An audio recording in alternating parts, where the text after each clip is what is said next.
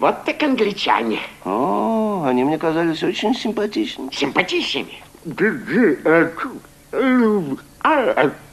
Хорошие ребята эти лягушатники. Только тот, что поменьше, очень беспокойный. Да, да, правда, он немножко шумный. Франция оказалась одной из первых стран, которая не выдержала натиска немецких захватчиков во время Второй мировой войны. Жители оккупированной Франции организовали активные подполья и, как могли, оказывали сопротивление врагу.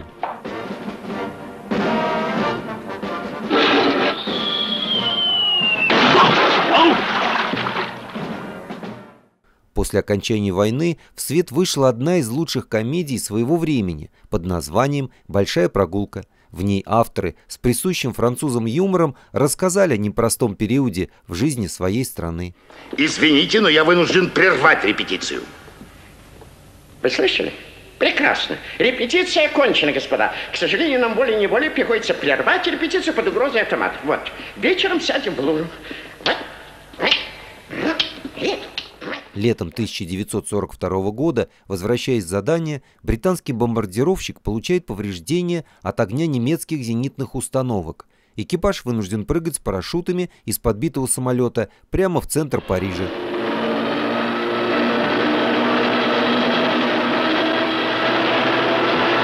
Таким образом, перед тремя английскими летчиками стоит непростая задача – вернуться домой, минуя целую страну, кишащую германскими захватчиками. I have good news for you. Oh.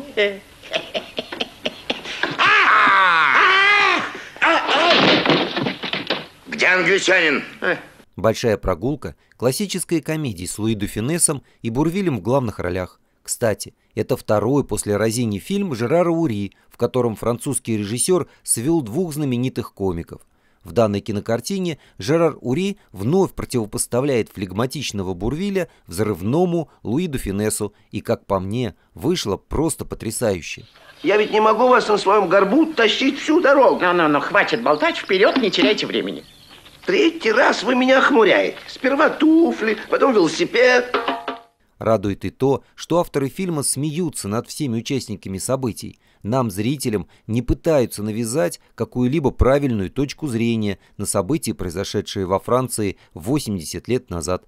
Французы, англичане, немцы – все ведут себя одинаково глупо, и именно это и вызывает искреннюю улыбку во время просмотра. Кто этот маршаль? Я уже ничего не знаю, он все время перебивает. Кашляет, сморкается, кашляет, сморкается.